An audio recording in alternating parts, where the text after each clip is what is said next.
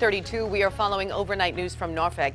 That is where police are investigating two overnight shootings. One man is dead, another fighting for life. The deadly shooting happened around 10.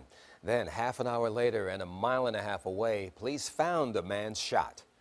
10 on your sides, Kiana Patterson is live in Norfolk. And Kiana, what do we know about these investigations so far?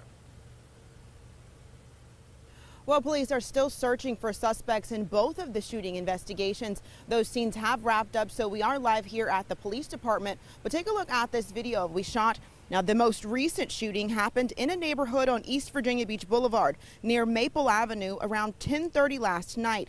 A man was rushed to the hospital with very serious injuries after a shooting, and we are told he may not survive.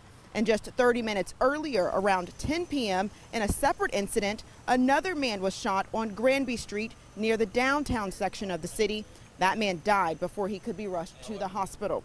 Now, officers did not say if the two scenes were connected. Again, they do need your help finding who did this. If they ask if you know anything at all, you're asked to submit a tip to the P3 Tips app, or you can call the crime line at 1 888 Lock You Up. In Norfolk, Kiana Patterson, 10 on your side.